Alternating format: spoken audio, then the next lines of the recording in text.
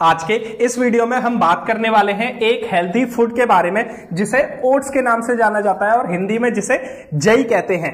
एक नॉर्मल व्यक्ति कौन से वाले ओट्स खाए या डायबिटीज़ में ओट्स खाने चाहिए या नहीं, ये आज की वीडियो सभी के लिए बनाई गई है और ओट्स पे ये कंप्लीट वीडियो है। मैं naturopathic doctor Ranjit Singh diabetes specialist health coach and nutritionist Ayurvedic Ranjit YouTube channel में आप सभी का स्वागत करता हूँ।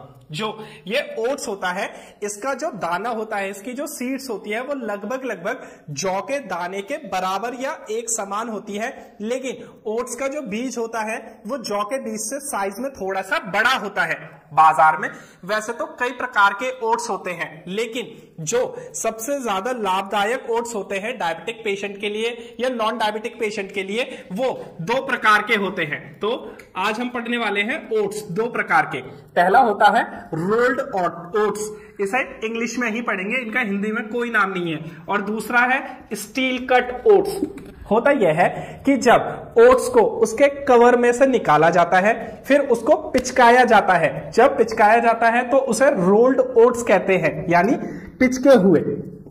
और जब ओट्स को कवर में से निकाल के छोटे छोटे टुकड़ों में काटा जाता है तो उसे स्टील कट ओट्स कहते हैं। वैसे तो बाज़ार में आजकल कंपनियाँ कई प्रकार के ओट्स ले आई हैं और उन्हें नाम दिया गया है इजी टू कुक या फिर instant cook easy to cook या फिर इंस्टेंट कुक ये वाले जो कंपनियाँ ओट्स बनाती हैं, ये बहुत ही खतरनाक होते हैं, क्योंकि इसमें बहुत से प्रिजर्वेटिव मिलाए जाते हैं। तो ये किसी भी हेल्दी पर्सन को या डायबिटिक पर्सन को बिल्कुल नहीं खाने चाहिए। ये तो बिल्कुल मैं मना करता हूँ। हाँ ये जो दो प्रकार के ओट्स हैं रोल्ड ओट्स और स्टील कट ओट्स इनमें कई प्रकार के विटामिन मिनरल्स फाइटोन्यूट्रिएंट्स फाइबर की बहुत अच्छी मात्रा होती है। साथ ही साथ ये दोनों ओट्स पकने में भी समय लेते हैं और डाइजेस्ट होने में भी समय लेते हैं। जब डायबिटिक पेशेंट इन दोनों ओट्स में से किसी भी प्रकार के ओट्स का सेवन करते हैं तो इनके धीरे धीरे डाइजेस्ट होने की वजह से शुगर लेवल भी तेज़ी से नहीं बढ़ता, बल्कि इन्हें खाने से, इन दोनों प्रकार के ओट्स खाने से डायबिटीज़ कंट्रोल में रहती है शुगर लेवल बैलेंस रहता है। एक बात और ओट्स में एक प्रकार का सब्सटेंस पाया जाता है, जिसे बीटा ग्लूकोन कहते हैं। ये बहुत ही लाभदायक सब्सटेंस होता है हमारी गट हेल्थ के लिए। गट हेल्थ मतलब हमारी आंतों की हेल्थ के लिए। ये बहुत इंपॉर्टेंट सब्सटेंस होता है बीटा ग्लूकोन इसे, इसलिए ओट्स खाने से कॉन्स्टिपेशन यानी अगर जिन भी डायबिटिक पेशेंट को कब्जियत की प्रॉब्लम है, वो भी सॉल्व हो जाएगी। तो डायबिटिक पेशेंट इन दोनों प्रकार के ओट्स का, या कोई भी हेल्दी पर्सन को इन दोनों प्रकार के ओट्स का ही सेवन करना चाहिए। अब ओट्स खाने के बहुत से फ़ायदे भी होते हैं। जैसे, इन दोनों प्रकार के ओट्स खाने से जो वेट है, यानी वज़न है, वो मेंटेन होता है। साथ ही साथ, ये बीपी यानी ब्लड प्रेशर के लिए भी बहुत अच्छे माने जाते जाते हैं।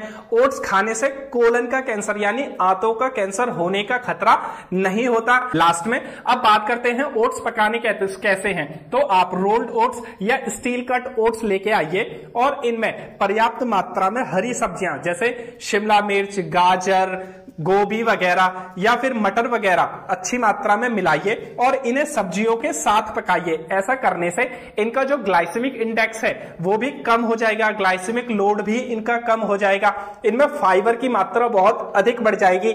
आपका शुगर लेवल बिल्कुल नहीं बढ़ेगा, बल्कि इन्हें खाने से आपकी डायबिटीज़ कंट्रोल में रहेगी। आज के लिए बस इतना ही। मिलते हैं अगली वीडियो में। तब तक अपना ख्याल रखें और खुश रहें।